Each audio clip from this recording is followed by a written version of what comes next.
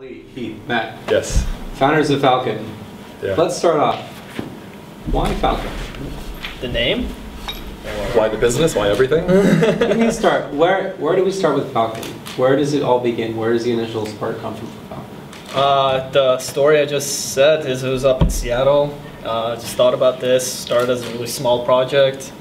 Not really a startup that we wanted to build and all that. It was just kind of, hey, I told Keith, I was like, hey, you know, it'd be cool if we made this thing. And, you know, it'd be super useful. Next time we go to a music festival, we'll find our way around. Yeah. And, you know, it kind of started from there and it grew out of that. Uh, at some point, I realized when I was sitting there working my corporate job that out of the, the 10 hours that I'm there, like eight hours of it, I'm thinking about this. Mhm. And only like half an hour of it I'm What was your doing work. Uh, I was doing technical sales and project management up at uh, UTC. He was an elevator man. Yes, an elevator man. I worked for Otis, the company that builds all the elevators. I, I know. it's- Yeah, I, I was working up there for Otis, and I And was. so sales wasn't wasn't hitting it. Wasn't doing it. I wasn't. I wasn't doing sales. That was the problem. I was. I was sitting there reading through building plans and like doing Mm. system specs. I, I was an engineering major, Setting up mechanical engineering major, and I didn't want to do that.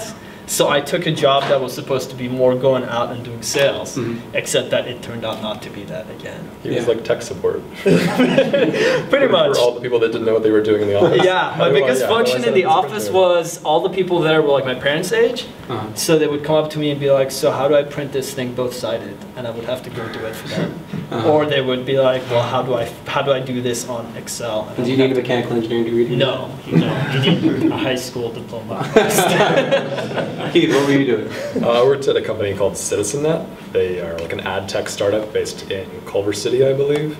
Um, I always get Culver City and Century City confused. One of the two. Um, CC, right? Yeah. Um, so they do like ad optimization for people that are looking to advertise on like Facebook, Twitter, things like that. I was in business development there. Um, I actually interned there before I graduated, then worked there for like four or five months after I graduated. You know, it was okay. I mean, I enjoyed the people a lot. Um, I transitioned to doing more sales, and it just wasn't my cup of tea. Doing direct sales, like email marketing, like that was not fun stuff at all. Um, it was very brutal. Um, and so we just like separated after you know four or five months, and I was so happy, so What- happy. what were you doing, Matt? Uh, I was up in San Jose working for a solar power company called Solmentum. Okay. And we were in partnership with Sunrun, which is like the biggest solar provider uh, in the country. So I was doing sales actually for them, um, selling solar power purchase agreements, which is basically uh, a system where uh, cu- uh, customers don't pay for the solar panels on their house. They get installed for free and then they buy the electricity that's generated Mhm. um, at a rate that's equal to or less than what they're paying for their current utilities. And so let's look at majors: mechanical engineering, business, Psychology. psychology, and Communication. communication. Lesson here is So- your major doesn't determine what Does you not do. matter. No. So how, especially, and it seems like not only your major doesn't determine what you do, your major didn't determine where you got a job or what you did in your startup, right? It's all over the place. it's pretty all over the place. I mean, yeah. it uh, it helps, but it doesn't determine. Yeah. So exactly. let's talk about the hats that you wear in your startup. So Yeah. who does what at Falcon? So it's kind of interesting because between the three of us, we have to do everything. So our roles like shift around, and we just do whatever comes up. So the beginning, when it was just me by myself, I was like a business developer, I guess, because I was going around trying to find people. Uh, Then I was like, all right, I'll just learn some programming, and then we got Matt on board, and Matt was like the lead developer, and I would just help him sometimes, and Keith was the business guy. Matt was the secret programmer, right? Yeah, Matt was the guy who Matt lived with us for a year, and I've known him for how much? How long now? Two and a half years, almost three. Yeah. I had no idea he has any programming I didn't. I didn't. I think Keith told me at some point. I was like, really?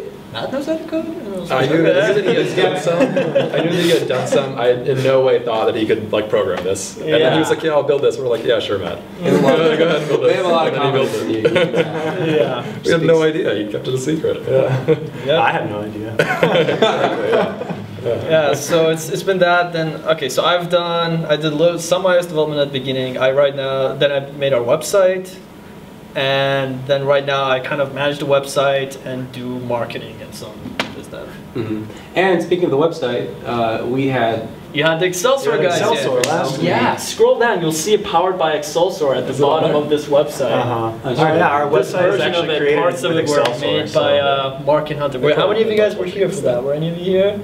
And that's I got He does. it. Oh, Him yes. with the camera and two guys there. Excelsor is another of the startup UCLA companies. Um, and Excelsor is a product that makes it very easy and intuitive to build a website without having any programming experience. Yeah. Um, it's very easy. You like click, click and drag, and it's Mm, yeah. you know it's like imagine like a Photoshop, but for just building websites directly.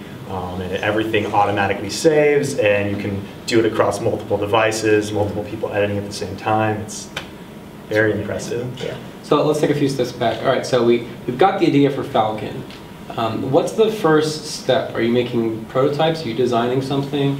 Are you, um, are you just buying your iOS la- app license and praying that a developer arises? and- Uh, first, first step for us was just kind of getting a feel for the scene. Like, what, what's, how does this whole thing work? Research, I guess. First step for everything, Uh-huh. research. But then the actual first step after that to build, I'll have Matt answer. I guess you have to Yeah, I just the started. SDK, right? Um, yeah, I mean, yeah, downloaded it all, and then I just started building it. And then every time I didn't know what to do, I would go online and look, read a tutorial for how to build, how to develop uh, an iPhone. So Uh-huh. there was a great website, Techotopia, which had like a complete guide to developing with uh, iPhone programming. And so I just read through a significant chunk of that, uh, learned basic things like how to transition between views and display images and all that stuff, uh, and then just kind of built it piece by piece, step by step. Uh, and so it really was an iterative process. The very first version of the app, um, all you did was you would like type in a latitude and a longitude uh, and a name, and that would like save a location. Uh, and then the actual compass was like a, it was like this drawn in N- MS Paint, I have it on like here. I've kept it as a sign of how drawn far in MS Paint, come. like yeah, gray fucking, thing with uh, like this red line that like showed the direction. Um, Yeah, it's it really It is. You just pretty build a really simple version of everything at first, and then you just, you know, you you make it better from there. I don't know how many of you guys can see this.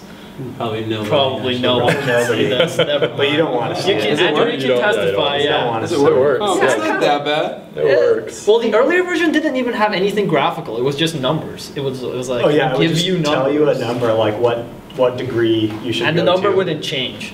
So that's the thing. That's I guess one way. It's and this uh, there's this is like way of building products called lean, is- which is really like about iterative processes. You don't you know you don't take the product and think okay this amazing thing and just start building it little by little and it takes like five months before you have anything complete. You build a very simple version first that works, you know, does one job completely, and then you keep expanding it from there as opposed to just trying to make this amazing product that does all of these things from the get-go. And you're pretending that you know how to code, and you sometimes make things that works. And, uh, where do you get stuck? Like, what's the big? What are some of the big problems that you start to stumble ac- across? I mean, it could be something related to development, it could be something related to design, it could be a holdup from Apple. What were like the big roadblocks along the way? Mm, Was it that easy? I mean, Matt could speak to the technical roadblocks Yeah, when I'm it comes to trying to programming. specific ones in our case, do you mean, or like general? In general. One of one of the things I remember we kind of took a while to figure out was how to do backend, which is basically do the database and all the stuff that you don't see on the phone. Yeah. Uh, we spent some time on that one, tried a couple of different things a little bit, and then eventually we found this service that was really great. But that that was one of the things. I personally was really worried at the time about what we were going to do about it, Mhm. but fortunately we found something great for that Called Parse. called Parse. Well, it seems like in, in general, it's good to know that there's a lot of resources for what you're There are trying a to ton. Yeah. Yeah. So you probably wouldn't have been able to do- do this like 10 years ago. Probably 80% of the Oh, stuff yeah. I did in the first few months, I later found out that was already built into the platform. so that was a lot of my time spent uh, building code for things that could already be done with, you know, with Apple's Apple's tools. So, uh, but that it's a good experience to do it anyway, and then discover later. But I think probably the honestly the hardest thing early on was picking a name. yeah. So did you guys, I mean, was Falcon the first thing you came up with? We've had some people No, who... In uh, terms of ideas last, or names? last mark, uh, la- or last week we had hype marks, and they said that they, they gave themselves a date, and they said if we don't have a name by this date, we're sticking with height marks because that's the best we can do. Did you guys do something like that? We actually we had Zipline for the longest time. This is actually what this this app that you saw was called Uh-huh. Zipline. I just, Yeah. I just kind of came up with that name like two days after I came up with the idea. And I was like, oh my god, it's amazing! It's the best name ever. and uh, we, I was like super excited about it until we looked on the app store and there was already a Zipline. It was already taken. Yeah, we were already. We were, So I choosing a name was a combination of like finding what names were open, just brainstorming tons and tons of names, finding out which ones were open, uh, available uh, for Apple, and then we actually ended up putting out a survey and On Facebook. on with all of our Facebook and friends. asked all of our friends uh, to rank what Yeah. names they liked best. Yeah.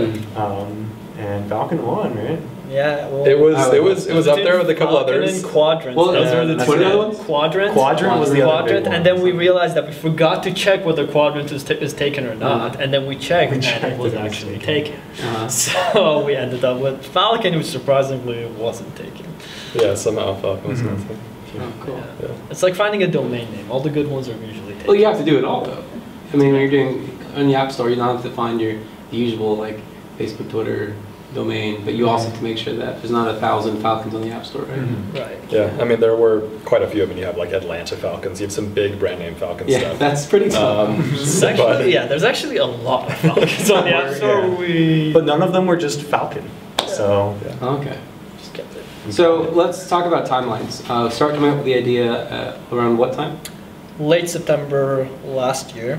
Okay. uh, got more into it and started building it Thanksgiving. Thanksgiving is when I came down here and saw Matt. Yeah. I And you were like- saying like December is about when you did like a soft launch at Coachella? No, No, no, that no, was April. April. April Oh, of this. April this year was Uh, Yeah, Coachella. December's when Matt started. Summer's when I started learning, code. learning programming Oh, yeah, for learning. this. Yeah, keep in mind all of that. It took us a while to like. I mean, if we knew all the stuff that we know now, Uh-huh. it would have taken a lot less time. But we had to learn from zero. So when did you hear about Startup UCLA? March, April. It's actually a really funny, random story, right? I was Sure, yeah. I was on Okay. Facebook and my friend said something. had a status saying, "Hey, apply to Startup UCLA," and I just looked it up. I was like, "Oh, yeah, awesome." No. We had applied to a lot of other accelerators by that point. And we had never heard of Startup I'd never UCLA. heard of Startup UCLA. Startup UCLA didn't exist until like February Yeah. of this year. Yeah. Um, in, in any way, it didn't exist, and so they just like start like they they are a startup themselves. They started it and got it through the entire university system and got it approved and got a team and got room a room for like an office space for us um, and all the framework set up between February and July when we came into the program. So, So uh, you very applied for a bunch of other, other accelerators, but did you get into any of them? We were in like deep talks with like one of them. They gave us an offer to come out there and like talk with them. They were in Maine, right? Rhode Island. Rhode Island. Oh, wow. They're in Rhode Island, and so we didn't. Beta we weren't going to spend like a thousand dollars to fly out there. It was at the same time that we were talking to Robert and UCLA about doing Startup UCLA. Yeah. So what do you get out of going to Startup UCLA? What happens there? Uh, what, what don't we get out of it? Yeah, honestly, there's there's like there's the typical things that accelerators give. I don't know. Have you guys talked about accelerator programs in general? Today, no. Okay, so there's these things. Startup UCLA. Since a lot of you guys weren't here last time, it's an accelerator program, which is basically the typical format of it is that it's like 10 or 12 weeks, and they provide office space, they provide a little bit of funding, some mentorship, skill series, all of these things to accelerate the process. Uh, usually, they take a percentage equity, so it's like a business. It's almost like a like a school in a sense. They take like six percent of your startup uh, sort of startups equity and they give you some money in the hopes that you know you will do well and you'll sell for millions of dollars and that 6% will generate some income for them. Startup ucla is a little bit different in that they take no equity and they had to do that because of school bureaucracy stuff. Um, so they took no equity but this is the format. It was 10 weeks mentorship office space a little bit of funding and all of that so you know those are the main things that they provide that we got from the program but we also just just being there with all the people there was probably the best thing and my favorite thing. Oh, you mm-hmm. know, got our website built by these guys, and Yeah. we just have all these friends that know so much about everything. Yeah, being in an environment where you're surrounded by other like ambitious entrepreneurs and everybody is working to build an amazing product. Uh, it's it's a, it's a great environment to be working in, uh, and and the office space that we had was fantastic. Um, and more than anything, the mentorship and advice that we got was like top notch Uh, Robert Jadon, who's the director of Startup UCLA, knows everybody in the LA tech scene, um, and he got some like high-profile people uh, to come out and talk to us um, to like critique our ideas, think, you know, critique our pitches. We had, Um, we it like Mike. Jones, former CEO of MySpace, runs an accelerator called Science. Brian Lee, who does ShoeDazzle, formerly did LegalZoom. Diego Berdakin used to be with MySpace, and now he's running Beachmint. They've raised like $90 million. Um, a ton of people of that caliber come out and talk to us. Yeah. So, did you ever go through that program and someone was trying to give you advice, and they just like like freaked out and said like, "Why are you doing this?" Was there any like major shifts at Startup UCLA? Like in other companies or with us? No, with you guys. Did anybody ever uh, really change your paradigm, shift your paradigm? I don't think so. Diego, guys- Diego almost did for a little bit, but not really. Did you have a pretty good vision of where you wanted to go? I would say that if anything, it was like it was very, and it still is to an extent. It was very broad. It was like we can go in all these different directions, Mhm. and now it's narrower, and that's it's still very broad. Like we can go in a very like wide range of directions, but Startup UCLA helped us. I think one thing that that. changed for us, uh, especially mostly very late uh, in the program and kind of after the program, um, was our focus for monetization. Uh, and initially, you know, we didn't worry that much about monetization, but our initial focus with Falcon was to make it a consumer-facing app. Um, so to just make it for consumers to use and enjoy, and eventually our hope would be to get like sponsored results, like Google has sponsored search results, um, some kind of advertisement type revenue.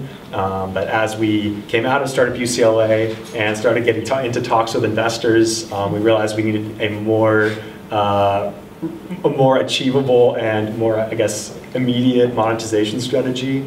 Uh, and so now we've focused a little bit more on building partnerships with businesses um, and developing the ability to license Falcon out to other organizations to use. Uh, and that's kind of what our focus has been now. So we've actually created a framework where other organizations could integrate Falcon within their app.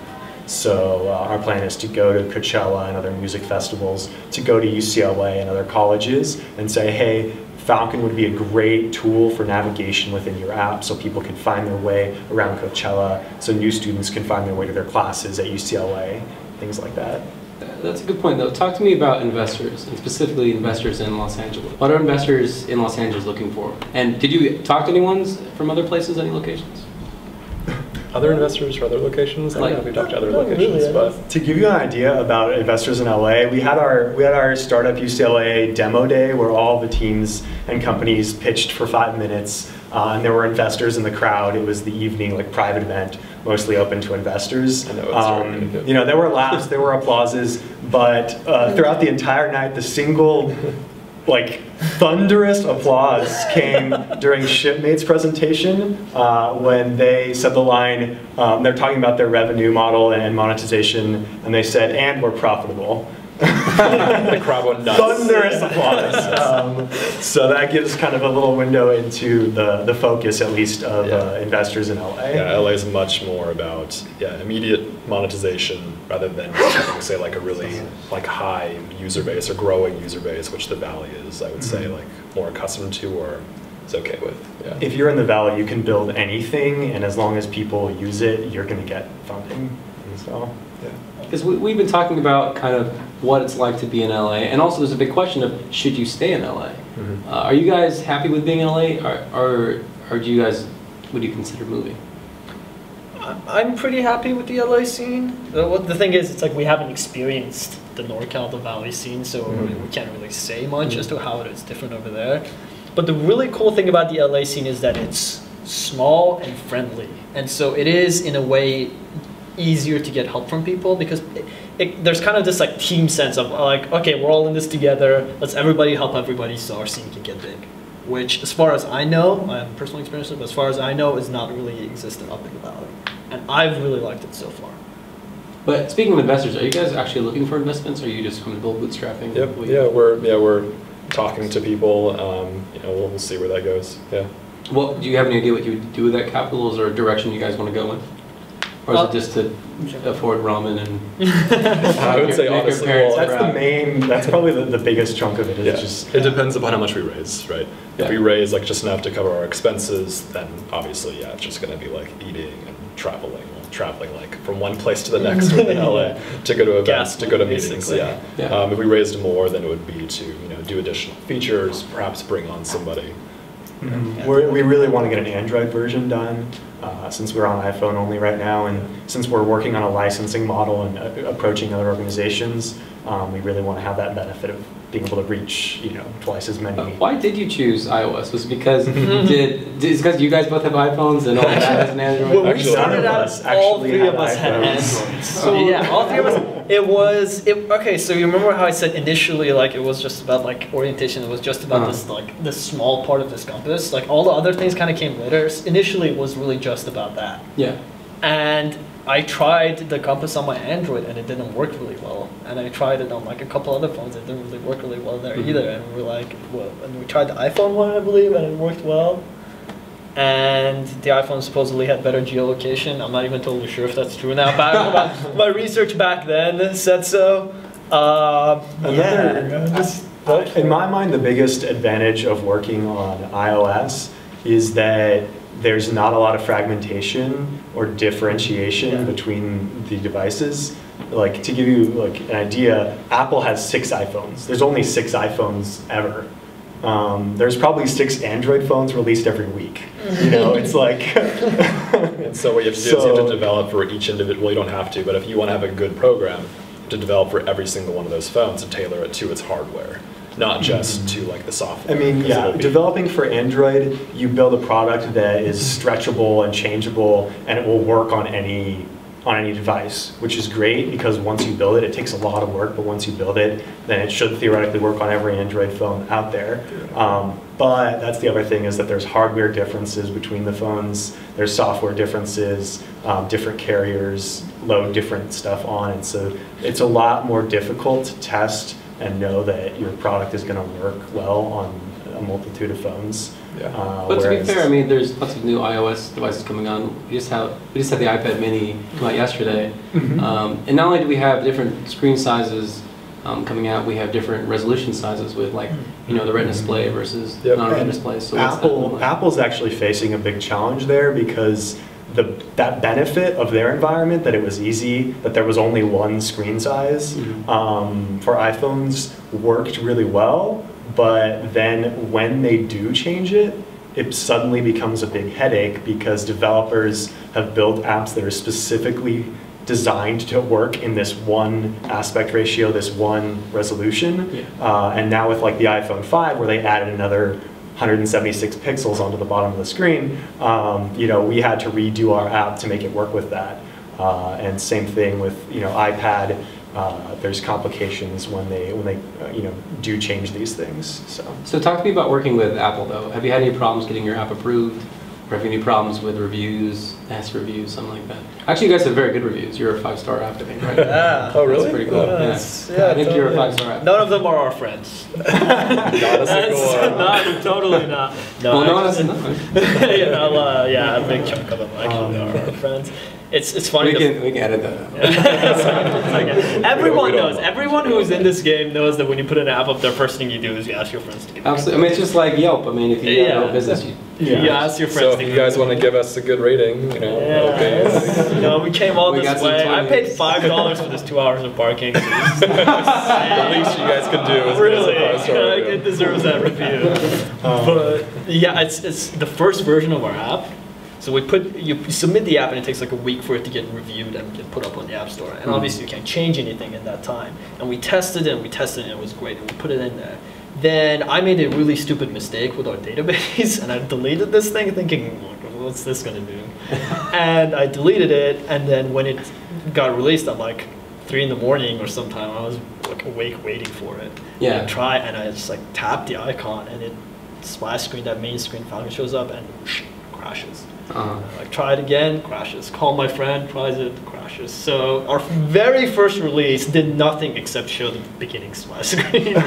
Yeah, our, our issue with Apple is not that they don't approve our app, it's that they do approve our app and it has critical failures, um, which has happened a couple times, um, which wouldn't be an issue if we could resol if we could fix it and submit a new version and have it released. Immediately. But they take seven days to review, so when we have like a critical bug fix that's like one line of code changed, and we want to, you know, submit that so our app can get fixed, you know, it's another seven days waiting uh, while Apple approves it.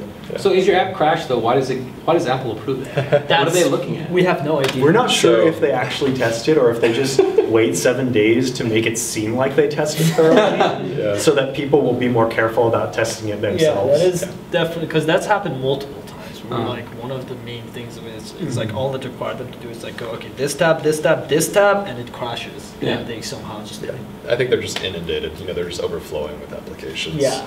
They just don't have enough to keep up. I mean, we've talked to other developers who had the exact same thing happen to them. It's like happened to us is they would have their app crash like immediately or within a few seconds of Mhm. it opening and it was approved and they're like, what, like what is going on? And That would drive down like the ratings that they got for the app and their usership. Sure. Yeah, you can't change those. The, and the system is really it's really weird because you can't let's say you have a like a crashing version, a buggy version, you can't pull that and restore to an older version. The older already reviewed version. You pull it and you put in that version that already that had been reviewed and approved, and they again take a week to review them. So Hmm, it's okay. this really the app store is There's, yeah, there's definitely a lot of inefficiency there. But on the other hand, Apple, um, you know, has made our, our app's development possible. Um, you know, they don't make anything off of our app. It's a free app, so they get no revenue. Um, Except for the hundred dollar. Except for the Apple's not gonna be $100 per year. We don't need to Um, say anything. about No, but I, honestly, I, I was very happy to be working with them. I mean, five years ago, if I wanted, if we wanted to build a, you know, a, a software program and release it, um, it, it would, it wouldn't have been possible like this. So, um, you know, Xcode is a fantastic programming tool. Um, there's really good, thorough documentation for everything in it. So, So- I'm happy as a developer. Let's talk about um, some of your partnerships and places you plan to go with Falcon. Yeah. Um, what was your first partnership? Who did you meet up with first? What was first? I think it was the tech crawl. Was it Tech Crawl? Yeah, I think I heard these guys talk about the tech crawl right when I was So how did you land that one? And what was your what was your partnership with TechZulu? I I went to the first one just as an event, and then while I was there, I used my app, and I was like, man, this is useful. And all of our friends who were there who knew us, us and our product were like, guys, your app is awesome here. Can you tell them to like tell other people to use this? Mhm. And I was like, sure. And then when they announced the next one, I just contacted the uh, the main guy Mhm. through Robert who runs our accelerator, and I told him, and he was like, oh, that sounds amazing, and it's free and everything. So tell us how um, Falcon worked on the tech crawl. What happened? So in the tech crawl, like like how this is work in that setting. Yeah. They basically the good thing about it is, is they just they search for one term. So this company that ran it was called TechZulu. So they would search for just like TechZulu, and they get a map on there. And map is basically what we call a collection of locations. So they had eight different places that they wanted to go. They would search. They would get that one result, tap on it, and get all eight locations at once. So you don't have to keep searching for different Mhm. things. You just search for that main search term. You get all locations, and then you just pull them up on the compass where you get basically where you are respect to like several of them at the same time. Yeah. And then you know you see the map view and then all the other capabilities. Save where you parked your car, share it with your friends, all of that. And it is a tech crawl, so people do get there's free alcohol at each station. So Mhm. people are getting more and more drunk as it goes on, and their Uh-huh. ability to read a map just gets degraded. so by the end of the night, when there's like the last two stops, they really they just need something that goes just go that way, just go that way. Because if they look at a map, they're just not going to get it. And they've told us as much. Endorsed by Yeah. everywhere. Yeah, we had a couple people it tell us that that was a benefit for them. Yeah. yeah. So you guys didn't have to you didn't have to pay for that. You weren't paid to sponsor. You No, if No. you if you have a product that helps people Mhm. and they they We didn't charge them that, anything. Yeah. they In the future, that's what we'll be doing. Yeah. hopefully, but, yeah. but you guys, you, you've also expanded well. You tried to work with some other larger organizations. Talk about those. Uh, there there was What, like Burning Burning Man. Burning Man was a big one. Uh, you know they're very I don't know how many people here know about Burning Man, but they're very anti-corporate and anything. Yeah, we talked that. about um, kind of the idea of going against the man when we met at Start View. So like Right, how you had yeah. to seem like you weren't the man. You were against the Exactly. man. Oh yeah, I told him this. I actually I emailed them the guy, the webmaster for for the for Burning Man, and I usually have this like three four paragraph email that talks about us and everything. Mhm. But for this guy, I was like, that's not gonna work. So I just wrote this one paragraph email, just like, hey man, what's up? So me and my friends made this app. like, this is my name, and you know, I figured I threw some like terminology like burners, which are people who go to Burning Yeah, yeah. Man, playa, which is what you call that, that like area they're on. And I threw some of that terminology in there. I was like, yeah, my burner friends said that would be awesome. I thought I'd tell you guys about it. Like, we don't make any money off of this, just throwing this. and Just uh, knowing this is gonna be Sound online. like you- Fair to oh, is it? Oh, Jesus Christ. This was all true though. This is not like what we didn't make oh, Okay, this I was up. gonna It's go like- crowd kick a couple more jokes, but I'll lay it off. But yeah, it's true, we don't the make any money. Yeah, all of that, all of it was true. There was no Even if you lying or anything there. I just, I wanted, I wanted them to know we're not this like big company trying to get it. Burning Man. Mm-hmm. Yeah. And so they responded, and then eventually they sent it out on the mailing list. Yeah, it And- blasted out to like we think there's like 80,000 people or so on their mailing list. Wow. They sent it out to all of them. We think like maybe 30,000 saw it 'cause they sent it out like a day before Burning Man actually happened. So we think like 30,000 might have actually saw it. Yeah, Yeah, it Possibly. was like one link out of like 50. Yeah, the Mhm. very bottom. Very bottom. Yeah. But it was there. Yeah. Yeah. And all it had is a helpful navigation app, and then it linked to that email that I had sent. Yeah, they just It's copied like- and pasted yeah. the email. Which was really funny. 'cause, like, it was like helpful navigation app, and then the description was, "Hey man, my name is Ali." yeah, you can see that on our website. You can like Yeah, scroll down like our on website. the- it yeah, says like just, like, Jack Speed. I think I, I think I saw that. I was, gonna, and I was kind of confused. It looked like you were posting on like a message board. exactly. Yeah. Yeah, we couldn't believe they actually just like copied and pasted it and put it. Yeah, but hey, it worked. I mean, we got like 500 downloads in like half a day, so it was great. Yeah. So can you guys talk about any partnerships that you're maybe working with right now, or you're trying to get? Yeah. Um, sure. If you wanna go after Yeah, I he talk says too much. um, I would say, you know, we're working, we really would like to partner with college campuses as, you know, as well as we can. And we were obviously UCLA, UCLA alumni, we all graduated last year. And so we want to partner with UCLA. And so we're reaching out to organizations there, to staff and administration there, trying to partner with them right now. And we're hoping to have at least something lined up with them in the very near future. On top of that, we're going to begin reaching out to like music festivals on a bigger scale in the next month or two. Yeah. But yeah, we've had we've had interest from from UCLA from a couple people that we're people that we're talking to there. so. Yeah, yeah, we're, we're in talks with them already, yeah. yeah. Cool. That, but that needs to be very difficult because schools are usually Yeah. notorious for being very slow to do it. Yeah. And we know that very well. Yeah, It's true. so we're looking it's at true. maybe doing something with them in like April of next year or something. Yeah, yeah. So, um, you know, we'd love to do something sooner, but we'll Yeah. see how fast the process moves. Yeah. Exactly. Would you get paid for this? Hopefully. I mean, hopefully, cross your fingers, but you know, we're not necessarily expecting that. We want to get like a pilot program essentially up at Okay. one school, two schools, three schools. Mhm. Once we show that it's, you know, a really good tool for these people to use, then we could possibly, you know, license it to them for a fee. And so talk to me about more about licensing. What does that entail? Are people getting their own individual Falcon app, or are they just part of the Falcon app that already exists? Sure. Uh, there's different ways of doing it. Yeah. Both of those are possible. The the three main ways that I guess I could say is either licensing. I guess this wouldn't really be licensing, but having official and sponsored results on our app. So the you know Coachella provides us with a set of locations for their stages and everything, and it's in our app, and it's called like an official Coachella map. Mm-hmm. But then the licensing of the actual program, it would be either that we tailor a version of this just for their event, and you know it has the locations built in and all of that, or we license this basically as a part of a bigger app. So a lot of these events they have their own mobile apps and they only have one section called like map or something that has a bunch of locations on there. And this will just be like a complete enhancement of the navigation process. Instead of just Mhm. having a static map or an image, you replace it with this that has all these additional capabilities on there. Do you have a preference? Is there one that you guys are trying to push more than the other? Whichever makes us more money. Yeah. I, What- what- I think the last one will work pretty well. You think that one will I, bring in I personally we think- have I that think so view. think that's the one that will get the most response because, um, oh yeah, like Ali said, a lot of these places like Coachella, they already have their own app.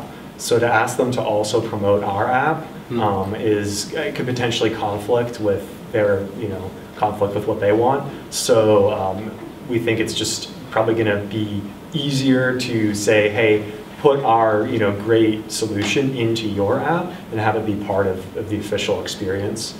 Um, and I think that, that that's probably going to get more of a positive response. And you're saying that map software that you guys currently use doesn't cost you anything, right? It's part of your developer's license?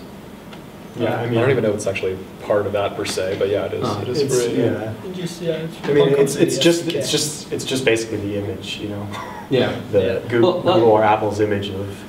Let's just talk about, um, maybe let's talk about the backend really quickly. Is it, is it expensive for you guys to host uh, Mhm. Falcon? Do- Is there anything to host? I mean, Uh, It's a little bit. too. yeah, there is stuff to us. There's like the locations that people add. mhm. So that's just like Yeah. latitudes and longitudes, right? And the names of the places. Yeah, those are stuff that we have to things like host. The, the actual, the other locations, the one that are pulled from Google, obviously are hosted by Google. yeah. But the ones that we have ourselves, and like the sharing and all that, they require uh, hosting. But we use the service called Parse, Mhm. which is mobile backend as a service. Basically, that's what they call it. And it's like they have. It's like a I don't know how to explain it. It's it's basically they made it very simple and they've eliminated the need to make any server write any server side code. Yeah. So you don't need to really do any backend development. You do everything front end from your uh, from your mobile Mhm. like Yeah. app. So yeah, we just use their API, uh, and then they have a tiered pricing system based upon the number of API calls and the amount of data you're storing on their server. Um, and we're still well within their free tier. So Yeah. um, We won't name our friends, but we have friends. And how much does it cost them for how many requests they have? I don't want to say who they are, but Uh, Well, uh, right now it costs them costs them uh, 200 bucks a month. for how many like requests? That's know? up to 15 million API requests. 15 and, million like, requests, several- $200. Yeah, going back to that something we said It's earlier about cheap. low barrier to It's entry. Look, think about this. We've had we've been using this backend service for several months now, and we're paying nothing for it. Absolutely nothing. Like it's like Right. basically, and when we get to that point where we will have to pay something for it, that's 15 million API requests per month. That is when you're already successful. like you, when you get to that point, you mm-hmm. should be able to afford 200 dollars. Yeah. Yeah. And so it's it really is like even for hosting now, in this in our case, we didn't have to pay anything Mhm. or learn how to write server side code. Yeah. Have you guys ever had to pivot from where you've been? I think it's been pretty much straightforward, but have you ever considered pivoting? Has there ever been a point where you guys just thought this wasn't the right direction? I mean, granted, you still have a long way to go, but have you, Oh yeah, we're very we're very early still. or are you, are you Yeah. considering a major pivot?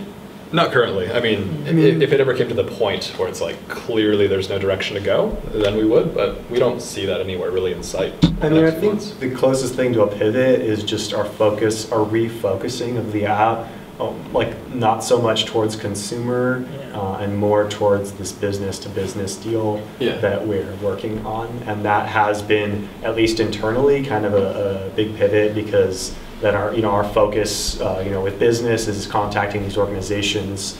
Uh, my focus with development is now building out this platform and building tools that other developers will use to integrate Falcon within their app.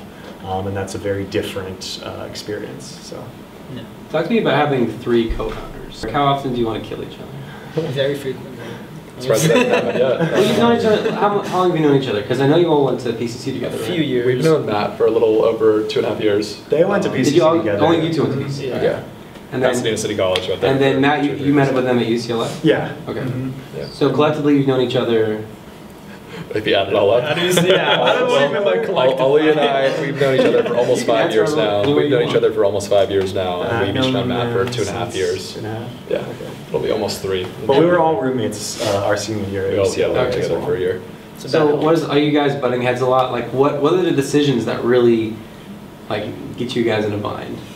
All of them. There's a, yeah, I mean, a it could be it could be any decision. Yeah, it The could ones be that we anything. It's discuss. very It's like yeah, pretty much anything that comes to discussion with other people, not pretty- not anything, but a lot of them really are like that. And on our rule is basically majority rules, and that's the cool thing about having That is- odd number of people. Uh-huh. Yeah. It's Yeah. yeah, it's like if we are all arguing with each other, which is just like okay, whatever has two votes out of three wins.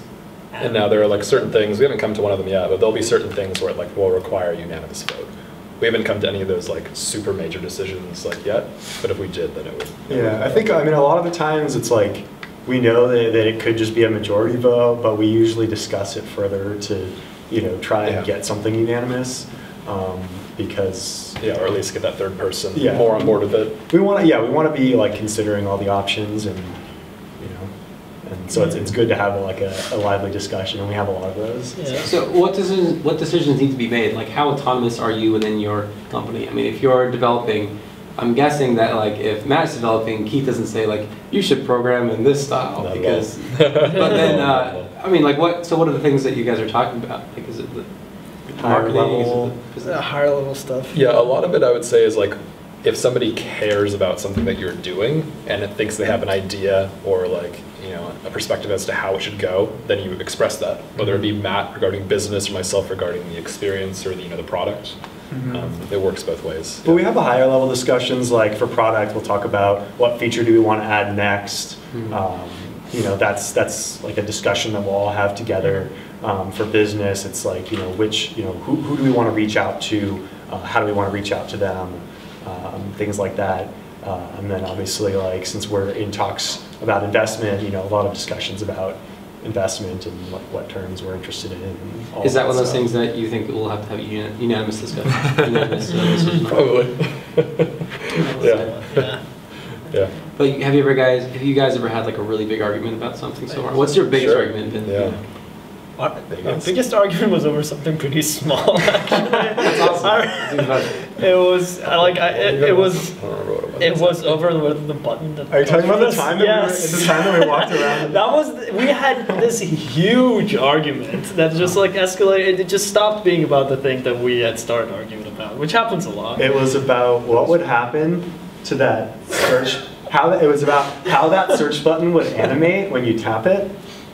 Yep. And so what, what would the decision? Honestly, that was the. I swear that was it, and it wasn't even it wasn't even like vastly different things as to what was gonna happen with it. It was like when it comes down, does it like change into a something else, or does it Does stay? it, does it as, stay like, up there when you click it, or does it Disappear? yeah, it was it was something like that, and it just escalated from that into this like massive just shouting match where we were in our room and we were like, all right, we need to go outside, and we went outside and we walked around campus for like an hour and a half just Uh-huh. arguing with each other very loudly, and then finally we it ended and we just went back and we're like, oh wow. Who lost that decision?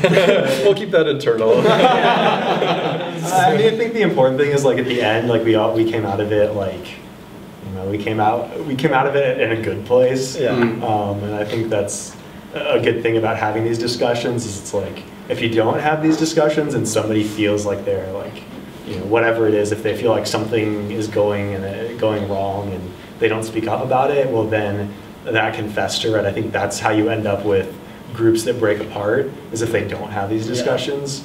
Um, but, so I think it's a good sign that we have them all the time because we're airing out whatever uh, Yeah. grievances or whatever disagreements we have, and then moving on once we make a decision about it. So. Well, I want to open the floor for questions uh, really quick. Yeah. Before we do that, um, one quick question for all of you. Yeah. What, uh, all of you can answer this. What was something that you learned? What was something unexpected that you've come across through this journey to make Falcon as far as it's gone? Hmm. I guess I would say like personally, like I mean I've been reading about the tech scene, like startup tech scene probably like a year and a half, close to two years, like prior to actually doing anything. So like I felt like I was pretty knowledgeable about it. I felt like I knew like what it is like I was doing.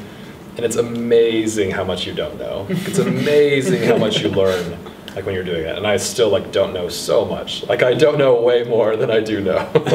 so I would say that's one of the bigger things is just like how much you continue to learn both when it comes to building your own business, learning about like legal stuff, finance stuff, setting up partnerships, so many things. Like we're constantly learning. Yeah. That's one of the bigger things for me.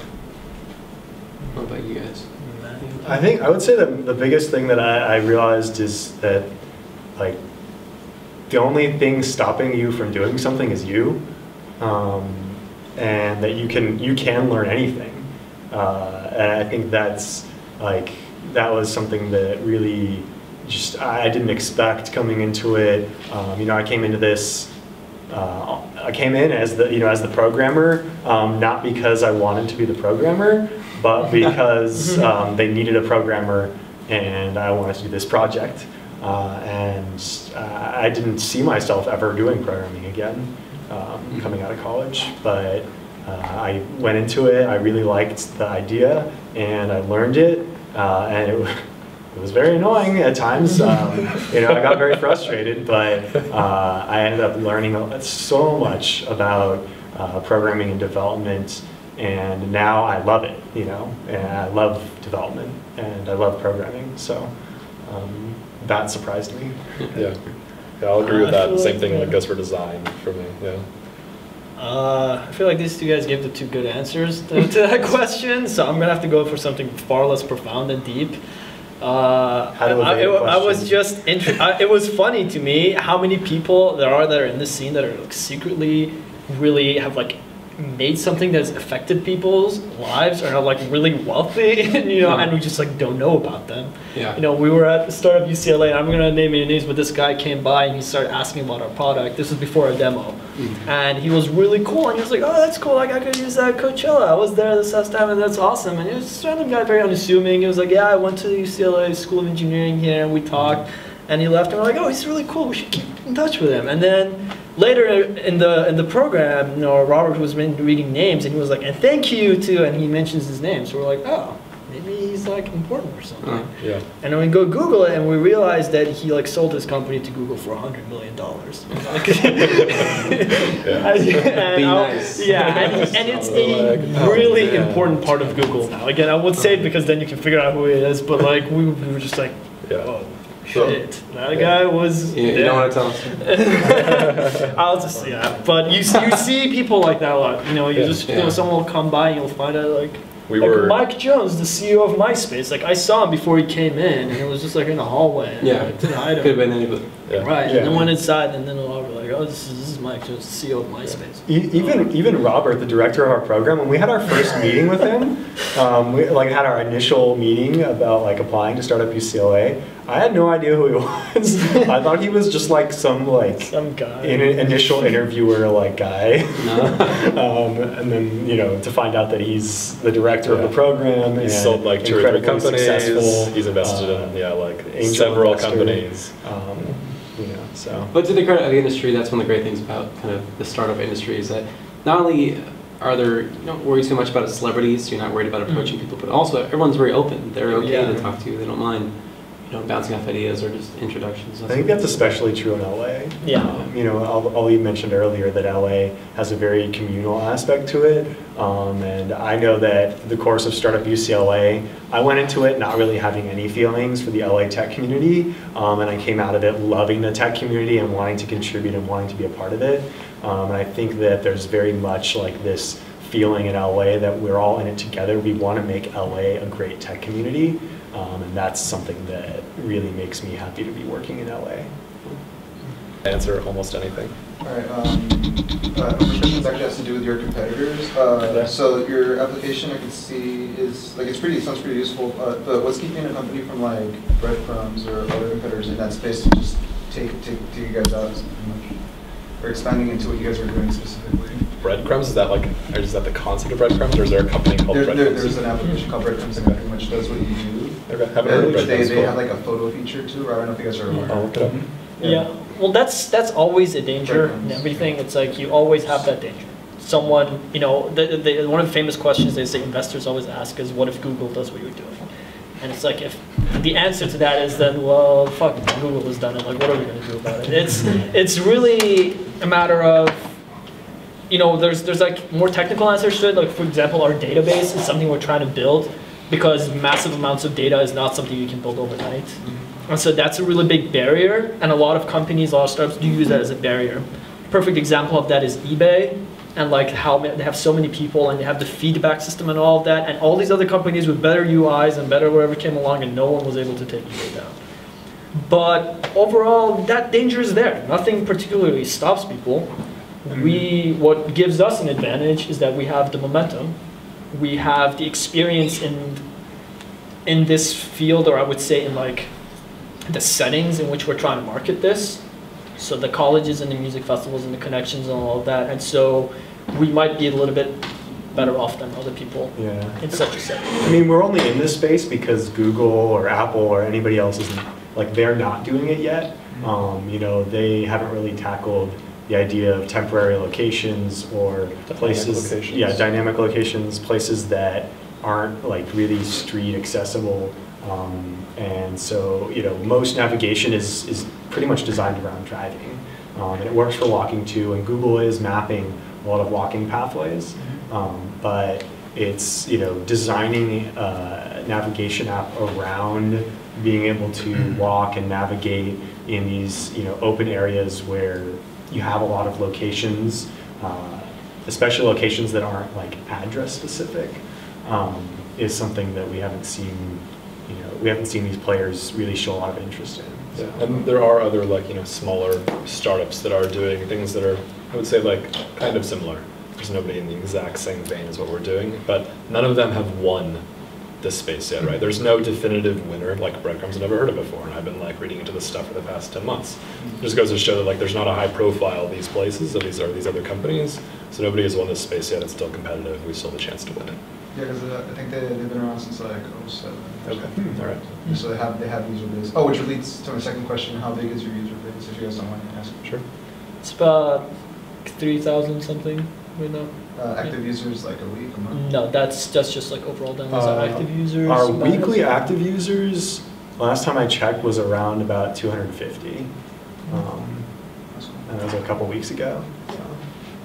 But this is you know fairly early in the process. Yeah, we didn't do any like marketing between when we were launched at Coachella and when we did our official launch in you know in August. That was all just doing development. We didn't tell anybody about it. It was just there in the app store, you know, just sitting there. Yeah. Yeah, get like three downloads sometimes. It's like, Yeah. so yeah. Anybody else? Uh, was it scary quitting your jobs? um, What do your well, I'll- at least, say at least personally, like, I mean, I, I and Matt, yeah, I and Matt quit, or, yeah, we both quit um, before we started working on Falcon, before that was a possibility. Like myself, before the idea was even hatched. And so, like, I was happy to, like, no longer be working. I just took time off. It was great. Um, so my parents, my parents, you know, wanted me to do something, and then this came around, and it was great. Yeah. Yeah, I mean, I, I don't know. I, I've worked, I've worked pretty much since I was like 14, um, and so like I've always been able to get a job when I wanted one. And so when I decided to quit my job, it wasn't a question of like, should I have a job now or not? It was just a question of like, do I like doing this job anymore? Is this what I want to be doing anymore? Um, and the, the answer was, you know, over time, over about a period of a month, I, I went from, you know, this is something I love to do to realizing that, you know, I don't want to do this anymore. Uh, and so once I realized that, I, I left and, you know, I was very happy to leave. Yeah. Yeah. In my case, uh, I was just very unhappy with my job and my life. Basically, I was just I was just like unhappy all the time, and so you know it wasn't really as much as like I quit so I could work on this. It was just I quit so I wouldn't shoot myself. That was that was why I quit. And you know I definitely did not tell my parents I'm quitting so I can go work at a startup. I was like I'm quitting because I hate life and I want to come back. And then when I was like, well, you know, I'm, I also have this like little side project. Like, I'll, I'll work part time, which I do now. It's like I, I work I work as a tutor until I figure out what I want to do, and I was like working on this on the side, and then this grew bigger and bigger, and then you know kind of eased into it instead of just being like. My mom was ecstatic to have me back after being away for four years of college. so. Yeah, I'll say that we were all in like a pretty privileged position and that we could, you know, return to like our families basically and have them support us to whatever extent while we worked on this. And a lot of people don't have that privilege, so we were really lucky. Yeah. Anybody else? Yeah. So would pathways be like the next step for you guys? Like, I mean, for example, Cal Poly Pomona. Yeah. You know, you can put like dots on on a, I guess because on on the map it would just look like like that tan color, right? And you can put like the pins on it, but that kind of doesn't tell you how you would walk around the building. Mm-hmm. Mhm. You know what I mean? So would that be like the next the next step, or? I'll, say that that's like a possibility. Anything's possible, but that is definitely not the direction that we're taking it Yeah, actively. it's it's yeah, it's not our focus. I mean, G- Google and other navigation companies, they are very good at routing um, and at establishing pathways to route you on when you're navigating places. Um, the reason we built Falcon was because there was a lot of places that just aren't conducive to routing because there aren't established paths. Um, and so to actually route you turn by turn um, for the type of uh, use that you'd use Falcon for would be a, a big challenge. Um, and uh, people always ask about it because that's what they're used to with like a with like a driving GPS. Um, and it's something that we've considered, and I've thought a little bit more about how we could accomplish. Um, but at least in the near future, it's not um, it's not a big focus. It's a very, very resource intensive process. Yeah. So the advantage is like they're heavily advantaged towards the big companies. You know, Google and their whole mapping thing, they have people in cars that they send around. This, there's three of us. Like we can't, like, unless the three of us get in our cars and go around like checking every college campus, like that's not gonna get done. Hmm. That's one of the main reasons. For And even then, they have that, and yet it's still like it often doesn't work well, even at like hmm, UCLA. Yeah. And so it's like how we could compete with them, this monolith, and doing this thing that they can't even accomplish well. That's that's not something we're at least touching right now. It's just of not. it's yeah, possible. it's not a smart approach. But at the same time, it's like we're just starting to work with organizations to partner with them. Um, and UCLA, at least, we've, we've you know, heard from them that that would be something that they would like.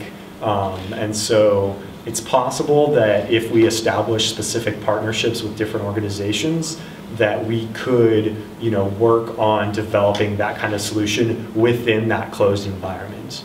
Um, you know, if, if the objective is map the entire world, well, Google's obviously got us beat there. Um, but if the objective is, you know, do the best at routing within UCLA, well, then maybe that's something that we could do. Um, but that's that's something that we'll figure out with the partners that we work with as we build our relationships. Anybody else? Uh, is it on purpose that you have the F? Maybe it's possible. The Twitter and Facebook were there, Yeah, and then I made the uh, I made a blog, Yeah, and we just yeah. put the W there. It was completely unintentional, but as soon as I put it up there, and I looked at the page, and I bust out laughing, and I'm like, guys, do you notice something here? And it was so funny that we were like, all right, let's just keep it there because that's pretty funny. But originally, it was completely unintentional. That's slick. I like that. Yeah, we thought maybe we could make it like for the win, make FTW. I was we're like, nah, of let's, that. let's I was. I was an advocate of that. Yeah, we're like, let's just keep it organic and funny. What the Falcon? Yeah. Yeah. Anybody else? I have a question. Yeah. If Somebody came up to you now and said, you know, guys, we'll give you X dollars, shut the whole operation down. What would that X dollar be? Sounds like That's someone's got a an checkbook interesting over there. question. Yeah. do you- That sounds like one of those questions talk that we would after. argue about a decent amount. I don't know, yeah. It's If we had to give those good individual problems. answers, just off the Yeah, top it's of one of them good problems. But why? Um, let me answer. Why? Why would you want? Why would someone approach them to shut down? You're talking about Well, uh, acquiring, or Most Yeah. of the times it won't be shut down, but you'll basically get absorbed into An a bigger, Yeah, bigger down, yeah. direction where, you know, if you look at any of the, if you just look at Google per se, right, they will do these small acquisitions, not per Mm-hmm. se because they want to shut it down, because they know that, hey, this is something you want to venture in and we want to bring you in and give you the resources. So Mm-hmm. Now, for classic example, if they wanted to let you utilize their mapping algorithm or you know turn by turn direction say you know what start building your app make it bigger better because right now you're just focused in LA right Mhm. you're not focused outside of the US Well, it can work anywhere. It can't We work actually do anywhere have users, we have users all over the world. Yeah, we do. One of our, one of our first so users. that, was that that's what I was like trying to figure out if you guys have ever had that conversation with anybody What did that one guy If we, get? if we had that conversation. What did that one guy get for his company, 100 million? Yeah. That sounds good. he got even more than that, but I mean. Times three, right? Yeah. sure, why not? yeah. times three, right? Yeah. sure, why not? yeah.